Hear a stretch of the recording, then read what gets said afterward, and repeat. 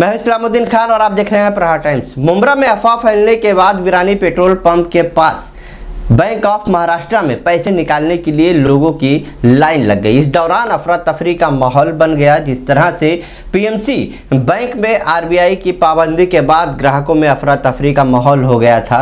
मगर आज जिस तरह से अफवाह फैली कि बैंक ऑफ़ महाराष्ट्र पर भी पाबंदी लग गई है, इस अफवाह से बैंक में लोग पैसे निकालने के लिए पहुँच गए और बैंक के बाहर लोगों की लंबी लाइन लग गई। बैंक में भीड़ जमा होते ही मुमरा पुलिस भी मौके पर पहुँच गई, जिस तरह से यह अफवाह फैली और लोग बैंक पहुँच गए अपने पैसे निकालने के लिए। बैंक ऑफ़ महाराष्ट्र के असिस्टेंट मैनेजर से बात की हमारी संवाददाता शबिया हुसैन शेख ने। यही हमारे साथ कुछ लोग मौजूद है। आइए उनसे भी बात करते हैं। इस अफवाह को लेकर आपका क्या कहना है और आपका नाम क्या है? मेरा रेखा शेख है। और सब लोग बोल रहे कि बैंक बंद हो गई बैंक बंद हो गई तो मैं डर के बम्बई गई थी बम्बई से भाग के मैं यहाँ आई हूँ। अच्छा। और लाइन में लगी हुई यहाँ। लेकिन महाराष्ट्र और बैंक ने जो नोटिस लगाए आपने पढ़े वो? नहीं मैं पढ़ी लिखी नहीं हूँ लेकिन सब लोग वाफिया उठाए तभी तो मैं आई हूँ भाग के।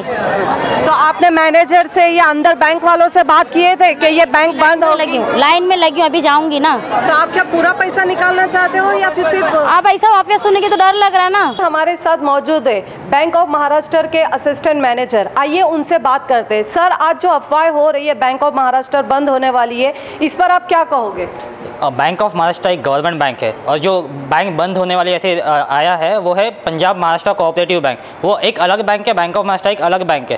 बैंक ऑफ़ महाराष्ट्र बिल्कुल भी बंद हो नहीं हो नहीं रहा है। तो मैं बैंक ऑफ़ महाराष्ट्र के जो भी कस्टमर्स हैं, उनको अपील करता हूँ कि वो बिल्कुल भी ना डरे और इस, ऐसे अफवाह पर बिल्कुल विश्वास ना रखें। उनका जो डिपॉजिट है बैंक बैंक के साथ, वो बिल्कुल भी सेफ़ है और वो कभी भी आके वो डिपॉजिट विड्रॉ कर सकते हैं। उसमें कोई भी आपत्ति नहीं है।